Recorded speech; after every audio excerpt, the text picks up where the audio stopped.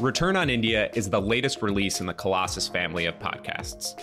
For full transcripts and more supporting materials, make sure to check out joincolossus.com.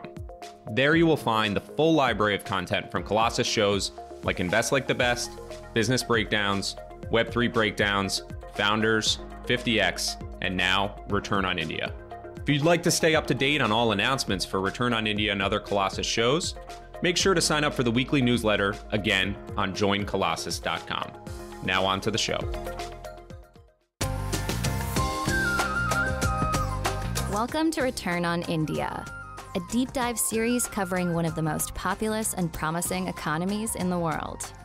Through conversations with central figures in Indian business, Return on India will unpack the details that matter for investors and operators. We will examine the unique cultural dynamics behind emerging demographic trends, and we will drill into key sectors by talking to the business leaders driving change. We plan to investigate the past, present, and future as we explore India's investment case. To find more episodes, transcripts, and a library of content to continue your learning, visit joincolossus.com. All opinions expressed by hosts and podcast guests are solely their own opinions. Hosts, podcast guests, their employers, or affiliates may maintain positions in the securities discussed in this podcast. This podcast is for informational purposes only and should not be relied upon as a basis for investment decisions. My guest today is Nitish Mittersain, founder and CEO of Nazara. One of the longest standing and most exciting consumer businesses today in India is gaming.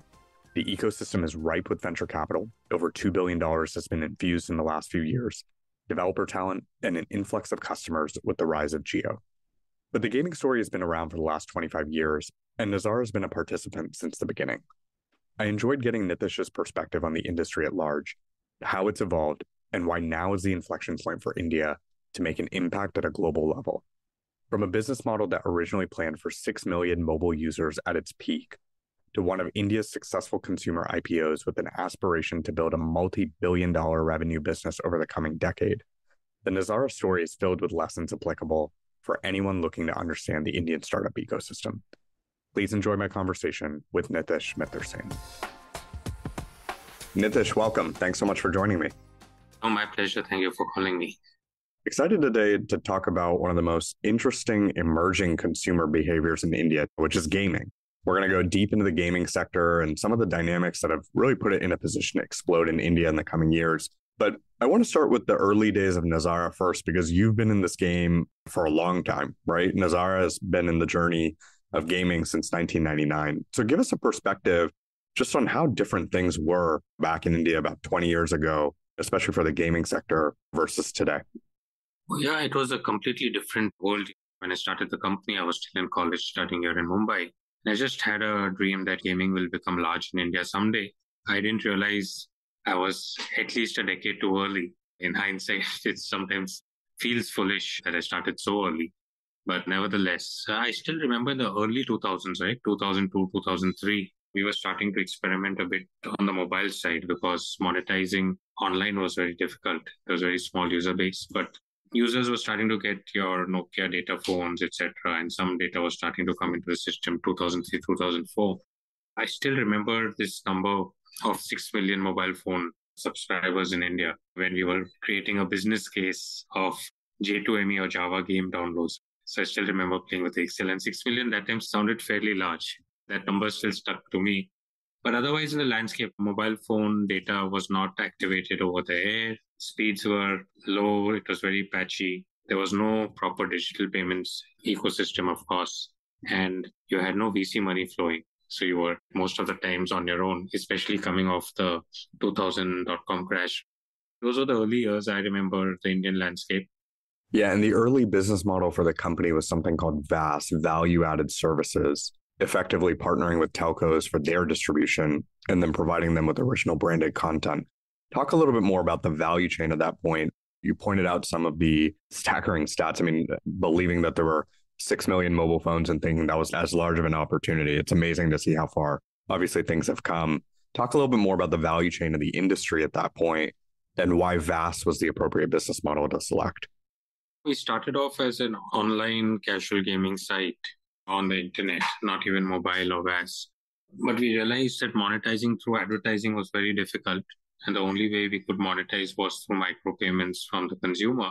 But at the same time, collecting five rupees or 10 rupees from the consumer digitally really didn't exist, right? There was no real platform to do that, except for what we figured was a mobile phone operator, because they had access the last mile to the consumer. And you could collect micropayments through the mobile phone bill or through the prepaid bill. So to us, in terms of monetization, that seemed the only real way to monetize gaming in India. We kickstarted that in 2003, 2004, when we partnered with Airtel and many of the other you know telcos in India. And that took off very well for us. We then expanded that to many geographies, I think over 50 countries, largely in the emerging markets, and have run that business for many years quite successfully. Of course, it evolved, right? Because uh, smartphones came in games were easily downloadable for free. So the curated games library we were running on the telcos became a little less relevant, especially in markets where it evolved. So we still run that business in a few emerging markets. But yeah, that was how we really got started. So let's double click into that, right? Because an interesting dynamic happens when Jio comes into the picture. We're fast forwarding a little bit, but I think Jio is what in many ways you're alluding to of what changes that business model. And on one hand, there's a massive tailwind with low cost of data. So number of users, dissemination of gaming at a higher bandwidth comes through, which is great. It expands the market. On the other hand, though, it has a huge effect on the historical business model and how you monetize. We've talked on this series with other founders about how Jio has affected their business. I think your business is unique because it started pre Jio. So there was a historical business model. And so Jio wasn't just all tailwinds like it has been for many more recent Indian consumer businesses. So, talk a little bit more about the Jio effect specifically for gaming and then how it impacted Nazara and really actually forced the business to evolve. Jio came in and quite disrupted the existing way content business was happening through the mobile operators because they started offering all the content, including gaming, for free for the first year or two. Even after that, they were selling bundled packs where you could access content for free and that put tremendous pressure on the other telcos to be able to charge for the content that Jio had started giving for free. So that very quickly escalated in us finding challenges to monetize the VAS business model in India. That was a negative impact that Jio had for us specifically. That said, I think in the larger picture, of course, just making data so accessible, more reliable, and corresponding pressure put on all the other telcos uplifted that entire industry, positively impacted all digital businesses in India, purely in terms of consumer access and ease of use. If I were to look in retrospective, it's been an extremely positive impact for Nazara and will continue to have a large impact going forward. So in retrospective, yeah, we, we're very happy with what happened then. Let's talk about the gaming market today. With the impact of something like Jio, it's one of the fastest growing consumer markets in India most of the funding, which I'll put a pin in because Nazara is interesting also from the perspective that it was a bootstrap story. So definitely want to come back to that at some point and how you guys really accelerated the business without venture funding. But most of the funding that's come into the space, couple billion dollars, has really just been over the past few years. So help us understand the space a little bit better. What's the size? What's the growth rate? What are some of the key dynamics that if someone was trying to understand gaming in India, you would tell them? Sure. So it's important to understand that India, before the mobile explosion happened, really wasn't a gaming market because the devices weren't really there at homes, whether they were PCs or consoles. There were really limited access to that. In colleges, like in my college, my friends would spend a lot of time hanging out trying to play games on the computers in the college because they didn't have access to it at home. Mobile phones had brought this to everybody, and especially with the advent of lower cost Android smartphones that everybody in India could start playing games across demographics, right? And that's seen a huge uptake over the last decade or so. I think today 400, 500 million active users on gaming. And I see it across the demographics. Kids of two years are playing games. My grandmother, who's now touching 90, is still playing games on a mobile phone, board games which she loves. So it really cuts across demographics. Still, I find a lot of people having this mindset that it's young kids or it's boys in the age of 15 to 25 who are playing games. But if you see in India, it's across the board. and across all classes of society, all demographics. So it's really popular. The challenge in India has always been that because gaming was not a culture before the smartphone days, hmm. unlike, let's say, the Western markets or the Eastern markets, where MMORPGs and all were quite prevalent. People were used to playing all these games on PCs. Like if you go to China, you had these huge cyber cafes, thousands of PCs where people would spend a lot of time. All of that didn't really exist in India. And so people came straight to the mobile, started playing games, started off with very casual approach to gaming. It was very snacky, time pass kind of activity. Therefore, India's mobile first, hyper casual gaming market, and therefore monetizes very differently than what other markets have done in the past. So I think it's a market that's evolving. We are still seeing gamers move from hyper casual to casual to mid core to now esports suddenly becoming very popular. But I also think that over the last few years, especially with the advent of smartphones that are pretty powerful gaming devices, today a hundred dollar device also, right, is a, a standalone, a very powerful gaming device. That digital divide has been bridged, and now India is starting to leapfrog quite ahead. I think monetization in India will pick up very fast in the coming years. And I think in certain segments like esports, India has the opportunity and potential to actually leapfrog and become a leader globally. We're seeing a lot of innovation happen within our companies as well as in the market in general around esports. And I think India will catch up very fast. The other aspect of Indian gaming market, which is interesting and to that extent quite specific to our market, is a real scale up of what is called skill based real money gaming. So while your casual gaming or your freemium in-app purchases haven't scaled, the skill-based real money gaming business, which comprises of whether it's fantasy sports, other games of skill, that particular business monetized big time and has scaled big time over the last uh, decade or so. So Indian consumers are willing to pay. It really depends on what incentives are driving them. And I think it's a fast evolving market, but I'm quite confident, even though we don't feature in a top 10 by monetization market today, we will catch up in those ranks over the next three to five years. One of the framings I've heard about this sector that resonates, at least outside in, is gaming in India is basically what China was 10 years ago. I want you to unpack that analogy a little bit more. Where does that resonate and where does that analogy break? Where it resonates, obviously, population. We have a large population, a young population, one market where you can access a billion consumers. China has always been seen as a very large market as well. But like I spoke earlier, where the disconnect is, is the background in terms of how these gamers have evolved. China evolution was into gaming culturally much before the mobile revolution happened. And in India, it's really taken off in the last decade. So culturally, the Indian gamer, I would say, has been quite different than the Chinese gamer. And that kind of reflects in the monetization. Historically, there has been low propensity to spend in India. This is changing now. Again, like I said, we are probably at an inflection point.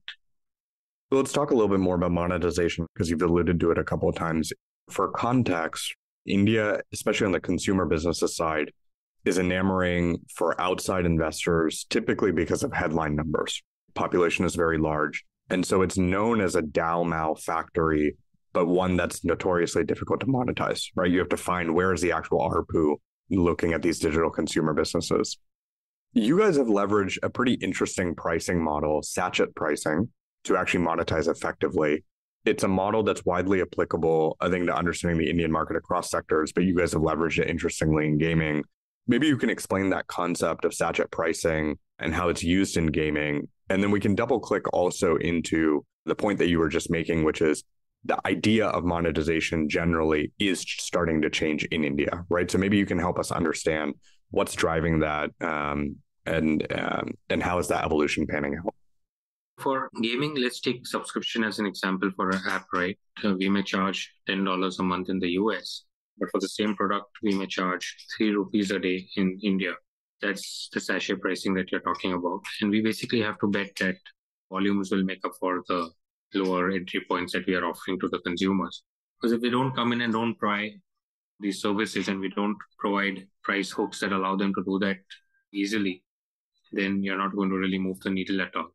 That's the approach we have taken. And it seems to be doing well. I mean, it's still nowhere close to the kind of conversion rates we get in the US for the similar products, but it's getting better. What's driving the change other than sachet pricing, for example? What's driving this change in willingness to pay with the Indian consumer? Why is monetization, why is ARPU actually starting to come in where historically it would just be a down out situation? I think the reason for improvements in monetization, even if they are baby steps, is one, more locally relevant content. While some of the international games have done extremely well and even today monetize the best in India because of inherent game design ability to develop games that are better monetizable. You know, design the game balancing economy is done better. But in India, I think developers are starting to really focus on that aspect and really focus on how they can monetize through in-app purchases. How can they design their game that helps in that? Because everyone's realizing that just building revenues on ad monetization and brand support is not really scalable beyond a point. You have to generate revenues through in-app purchases or subscription. So I think one is better game design overlapped with locally relevant content is helping and will going forward really accelerate the advent of better monetization in India. I think the second aspect is really much more evolved digital payments ecosystem because today even Google Play, etc., connected to UPI, all of India is paying digitally, and therefore microtransactions can be collected far more easily. I think that's one big positive that India is really, as you would know, leapfrogged ahead in terms of digital payments globally. I would say every small vendor is you know accepting digital payments today and therefore consumers are continuously using it all day. So therefore, it lends themselves very easily to also spend on gaming 10 rupees, 20 rupees, 50 rupees using these digital payments. So I think that's a big plus, which is helping us in the market as well. What are other unique characteristics in this market outside and if we're thinking about comparing the Indian market to the Western market or to the Chinese market? And you alluded to this a little bit earlier with the different kind of gamer archetype of India versus China, but what else is uniquely Indian that works. Something we've talked a lot about on this show, certainly with other founders as well, is this idea that building X for Y, building a startup that may have been in the US, like an Uber for India, an Airbnb for India, Twitter for India, et cetera, may have been an archetype for a successful company 5, 10, 15 years ago. But as more of India comes online, that model is not only starting to look less attractive, but candidly, it's failing versus building native startups for native use cases in India. What else is uniquely Indian about the gaming market? First, I would say what is not unique to India. India is a fairly flat market and fairly open market, which means today, if you go to, let's say, the App Store or the Google Play in India and look at the top monetizing games, leaving aside a few local breakouts, which have been big successes, largely you will see international games do pretty well over here, especially in the top crossing because the Indian consumer is looking first for well designed games and highly engaging games. There are not that many cultural blocks that will stop them from consuming the international content. Language is also not a great barrier. This means that for local developers to break through, they really have to develop local content that competes with the best that's out there globally. In the last decade, doing that just for the Indian market, investing on local titles that would be world standard the economics have not made sense because your monetization is relatively limited and creating up to those standards have always been a challenge. So a lot of local developers have tried to induce local content, but then with not the level of graphics or the design that's really the Indian consumer is expecting. And that's why a lot of the local content is not done well. That said, if you look at television, right, over the years today, uh, I mean, 90, 95% of the content consumed in India is local and locally relevant in terms of culture.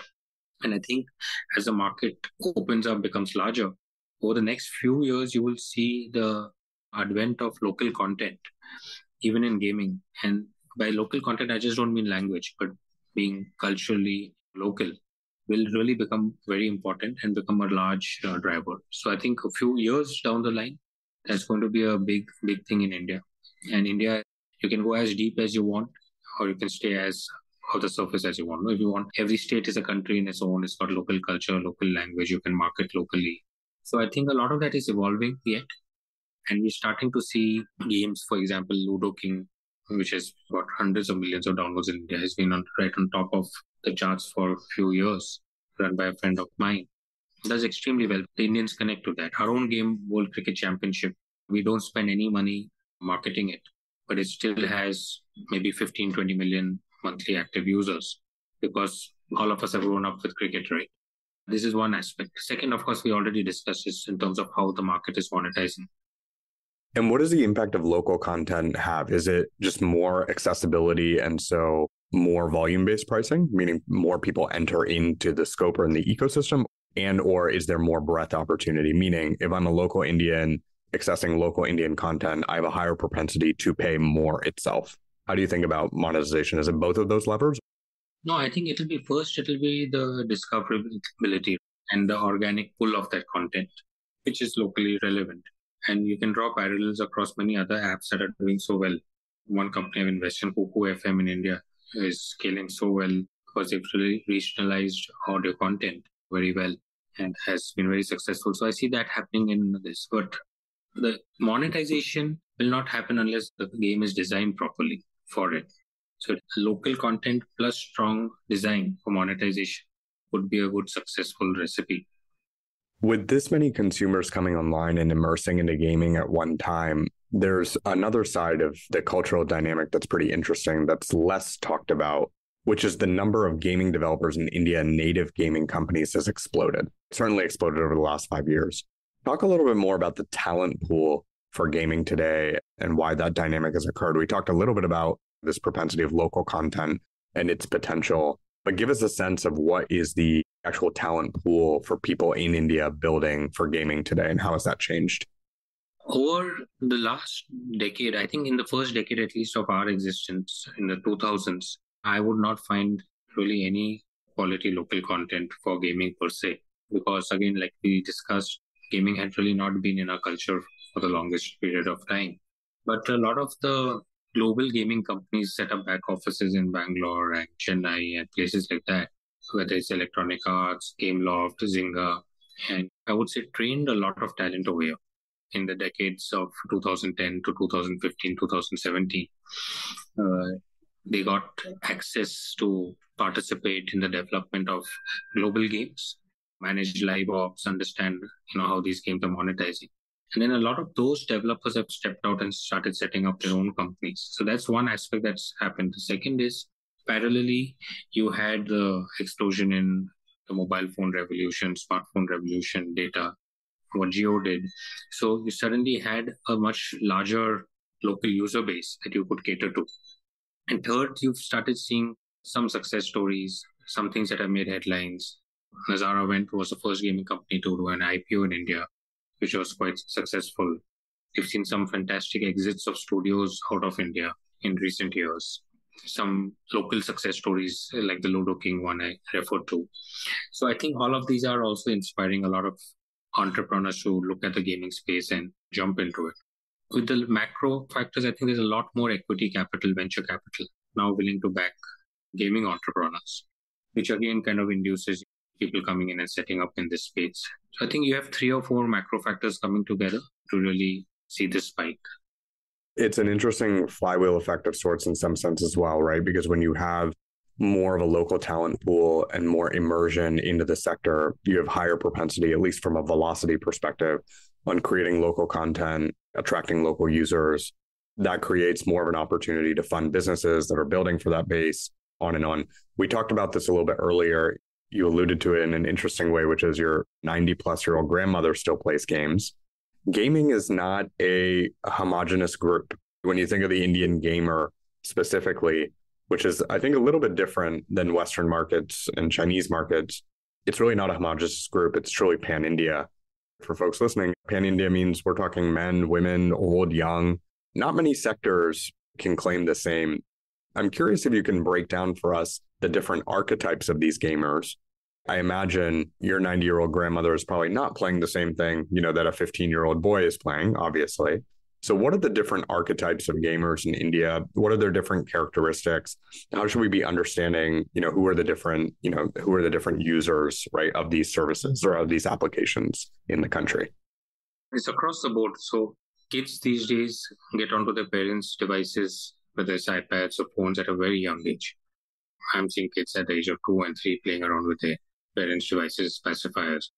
I mean, they enjoy it and parents let them use it for some time. Hopefully, they moderate the amount of time they're spending. But the reality is, you can't keep kids away from digital devices completely. That's one very important audience. And we've got a great product, Kiddopia, just in that space, which is gamified early learning, healthy entertainment for young kids. That does very well for us. So that's really important. I would say also high impact group to go after because you're filling an important need gap. I think your stereotype gamer boys age of 10 to 25 are pretty active in gaming and they are more into not only playing games with their friends but also watching games on youtube following gaming influencers etc women gamers are also pretty underestimated. I think in india they're very much into gaming. Perhaps a different cohort of games but yes very much into it and i would say underserved to that extent I'll share an interesting anecdote. You know, a few years back, we were checking stats on our cricket game, and we saw that the top 1% was spending several hours a day playing the game. And I actually got concerned looking at the data because I said if, these are school or college kids spending six hours playing the game, then parents are not going to be very happy. And, you know, should we consider having some restrictions ourselves in terms of responsible gaming? The last thing I want to do is get kids to fail in the exams. But we actually did a VOC and tried to do a survey to understand who this top 1% was who was spending six, seven hours playing a game, playing a cricket game. And we figured, you know, these were potentially, you know, shopkeepers sitting in all parts of India, uh, playing five day test match on a cricket game while serving their customers. So that was a use case for them.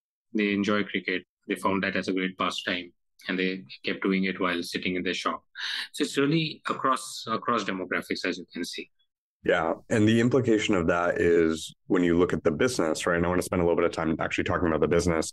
You've structured the business in a way that's representative of all those different pillars in gaming today. So esports, gamified early learning, real money gaming, freemium, telco subscription, ad based, et cetera. At a high level, can you explain not many consumer businesses, I'd say, have that many pillars or that many aspects to either their monetization strategy, their application strategy, et cetera. Can you help us understand a little bit at a higher level? What are the different pillars in the business? How do these interrelate and how are they distinctive as well? Because each strategy also has its own model, its own consumer base, right? And its own place in your own internal stack. Because we started so early in this space, we also learned a few lessons pretty early. And one thing I realized in the gaming space is it's a highly disruptive space. Consumer preferences changing very fast, technology changing very fast in markets like India, regulatory changes being also happening all the time. So I realized that there would be disruption on an ongoing basis. And I didn't want to build a business that took two steps forward and one step back all the time. I thought I would lose valuable time. And I just felt that if you ran what I like to call a stable ship in a stormy sea, you would, over a period of time, make a lot of progress and gaming was going to be big in India. I'm, I'm very convinced it's going to be even larger than I anticipated in the next few years. So the one thing I wanted to ensure for Nazara is that it's a very stable company. And one way to do it was to set up multiple pillars of business within the gaming space so that we were not disrupted by one or two things happening in the environment or even within us. That's how conceptually over the last six, seven years, especially we've driven the business. Coming specifically to our business, we run five verticals today. The first one is gamified early learning, because that's a space we believe is a high impact space to operate in, give young kids healthy digital entertainment content, which parents also feel the kids are learning something while engaging with the content.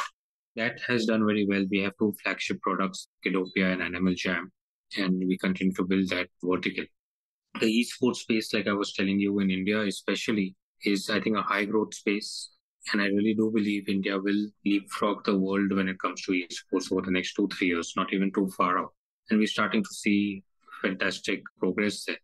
Today, Nazara dominates the esports landscape in India with close to an 80% market share. So that's another vertical that we've been operating in. Running the freemium games, World Cricket Championship, our game today has 15 to 20 million active users on a monthly basis and we're launching more products like that. So that becomes a slightly different approach to monetization. The skill based real money gaming is a highly scaled up business model in India when it comes to gaming or within gaming in terms of relative terms. It's a relatively small business for us today, 5% of our revenues. we've taken a slightly conservative approach there because there were a lot of gray areas in terms of regulatory risks, taxation policies, etc. And we wanted to wait for some time before we really scaled up big time in it. Now, I think in 23, we were hoping in 22 there will be more clarity. But I think in 23, we are surely expecting a lot of clarity to emerge. The government of India has also taken a pretty active role in trying to achieve this. So we have our foot in the door in that business, and we are hoping that in this year we will be able to scale it up. And the last one, interestingly, we got into is the ad tech space because we really saw many overlaps within gaming and ad tech, both on monetization, user acquisition, first party data, etc. So that's the fifth vertical we have. So this is how our business is structured. I would say we have diversification across geographies. Today, over 40% of our revenues are coming from the US market, 40% from India, and 20% from the rest of the world. We have diversification by business model. So it could be brand sponsorships, it could be media rights, in-app purchases, subscription, etc. Real money gaming. So there are at least five or six different ways to monetize within our network and different verticals, like you saw. While some people may feel it's a case of over diversification, but I think if you take a slightly longer view, as we are taking, we're very comfortable with what we are building out. Yeah, double click into that a little bit more, the over diversification piece, because I think one, there's a balance in operating the business. In one sense, you can say, wow, exactly actually to the point you made, this is going to be a hyper stable ship in a stormy market. It's built for not being disruptible because there's so many different ways that the business operates. There's another downstream effect, though, of focus. And how do you actually build scale, breadth, whether it's from a talent perspective, whether it's a customer perspective, product perspective, et cetera, when you're in so many different markets, so many different business models, and so many fundamentally different pillars. Like we'll talk a little bit about esports and gamified learning, your two biggest business units. The business models for those are fundamentally different. How do you think about the balance of diversification and building something that's enduring versus focus, velocity, and building something of scale?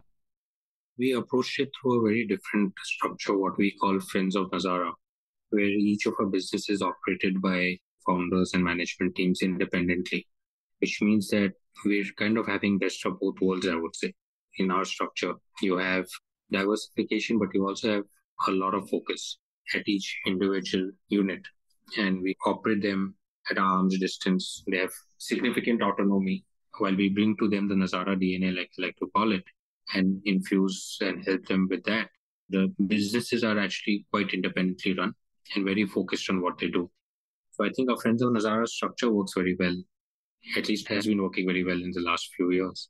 And we have tweaked it over a period of time and hope to double down on that. And what does Friends of Nazara specifically mean? Is that joint ventures? Is that acquisitions? Is it partnerships? Tell us a little bit more about that because you're right, it is a highly unique model. Yeah. So the way we work is we usually acquire majority stakes in businesses that fit in these five verticals I spoke about.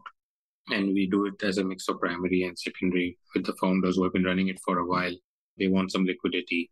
They want some more primary capital in their company. But they also believe that in the long run, they can continue to run this business and create a lot more value. So this is one stepping stone for them. So we acquire a majority stake, but we leave a significant stake with the founders. So 30, 40% stake remains with the core management team. We also give them some stake in Nazara so that they feel part of the larger group and larger platform and also look at the benefit of the overall platform. And that was one of the reasons we also listed our company to make sure that we have an ability to create liquidity for all these founders through the Nazara stakes that we've been giving to them. The second pillar of the Friends of Nazara is where we give them significant autonomy to operate.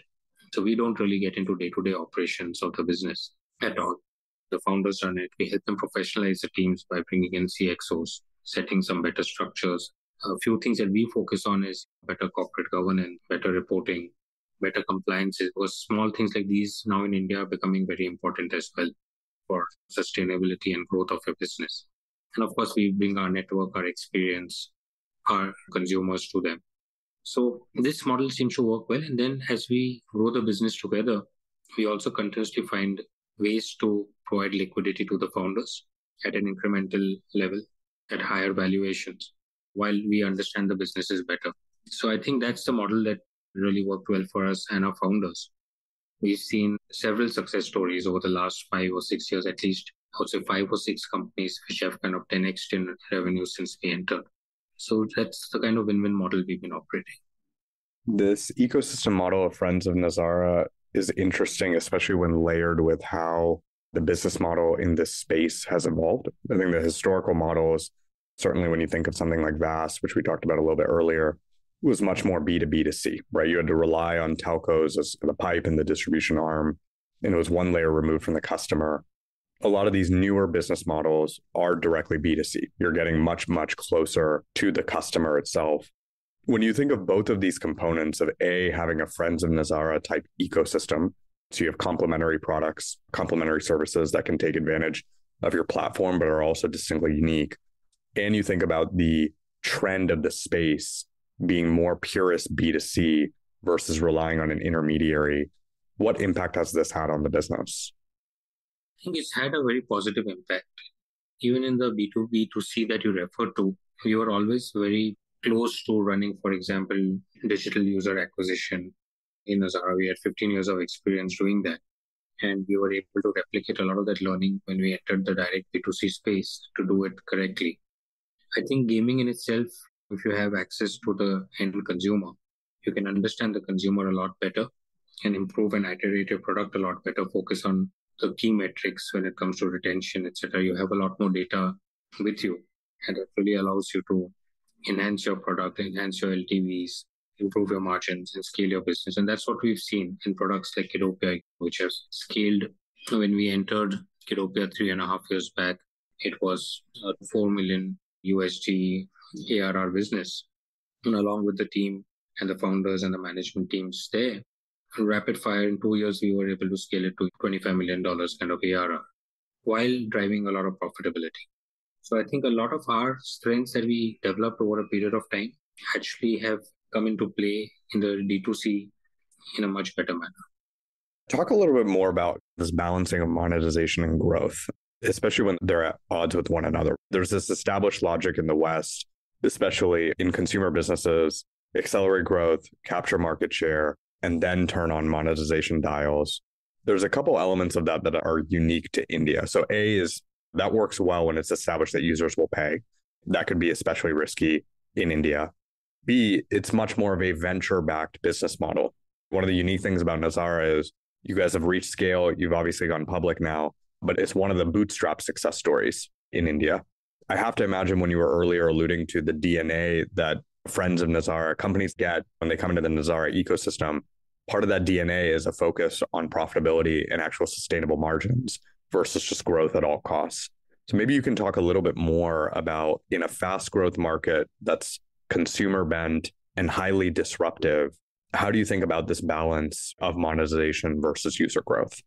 Sure. So I think balance between monetization and profitability, right? is my favorite question because I get asked by analysts all day long on exactly the same topic and answer while sleeping. I think for us, we have a particular DNA that's evolved over two decades. And it may be the right DNA for certain businesses. It may not be the right DNA for certain businesses. But our DNA very much is to drive profitable growth, as I like to call it. While even today at Nazara, we are prioritizing growth over profitability what we usually don't like to do or we get a bit uncomfortable with is if the growth is fueled with a lot of cash burn. And like you said, in certain businesses to acquire market share and leadership, that may be important, but it comes with its own risk of ability to retain consumers and then monetize at a later stage in new markets like India, where it's you know, monetization still evolving. So we've kind of tried to stay away from such businesses. Our thought process is very clear. We will always prioritize growth for scale while remaining profitable. If it's a strategic business for us, for example, the esports business, where we are a market leader and we want to make sure we maintain our market leadership or extend the lead that we have, create enough moats, we may operate that business at a very low margin or even break even. But we usually try and put a guardrail to avoid getting into losses. And a diversified business allows us to generate cash and profits from other businesses that we are operating. So the way we look at it at any year or three year perspective there may be some businesses that we will have a strategic focus, and there'll be some businesses that we will treat as a cash cow to, on an overall basis, ensure that Nazara continues to drive positive profitability and positive cash flows. I think that's how we've built the business. Just to clarify, we did raise venture capital because you mentioned Bootstrap. We did raise $3 million of venture capital from WestBridge Capital in 2005. That's all we raised uh, for the next 15 years. We actually ran our business quite profitably. And I remember around 2013, 2014, we were sitting on about $30 million of cash, all accrued from our own profitability, which we then redeployed to expand our friends of uh, Nazara network. So while we did raise some venture capital, largely you are right, we've operated like a bootstrap company. When you think about increased monetization for the sector at large and we look ahead, where do the profit pools emerge from? Is it just deeper expansion within the customer wallet itself? We talked a little bit earlier about the propensity of local content, more discoverability, more accessibility, et cetera. Is it expansion within the customer wallet itself, or do we start to just see more tangential revenue streams, whether it's ad based, IP based?